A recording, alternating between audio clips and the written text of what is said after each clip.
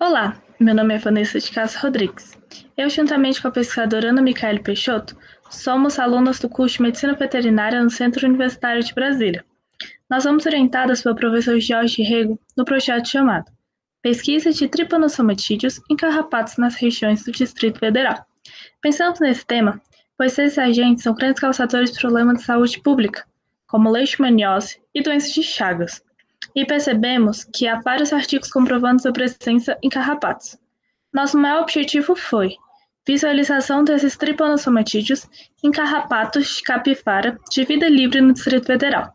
As amostras foram obtidas a partir de um estudo sanitário prévio, que ocorreu nos anos de 2017 e 2019, nas regiões do Jardim Zoológico de Brasília, próximo ao Palácio da Alvorada, e na Fazenda Experimental Temprapa.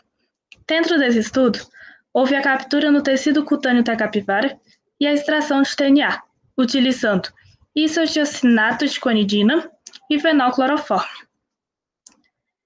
Com esse material genético, fizemos reação em cadeia de polimerase tradicional, ou também conhecida como CPCR, utilizando oligonucleotídeos T75 e T76 para ampliar a região genética 24S-alfa.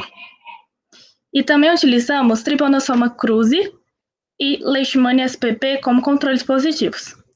Depois fizemos eletroforese com agarose em gel 2% e por fim coramos com prometo de etídeo para visualização em luz ultravioleta. Foram 558 carrapatos de 57 capivaras diferentes. Identificamos cerca de 69% como amblioma tupitato, 29% amblioma sculpto e 1,6% ampliou uma SPP.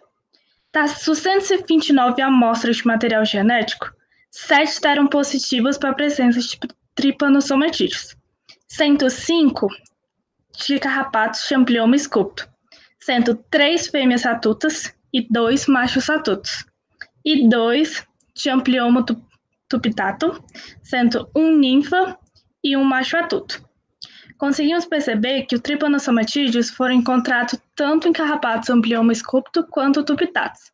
Porém, o sequenciamento genético não foi feito.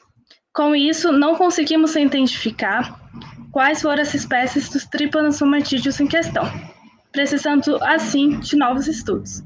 Desde já, muito obrigada.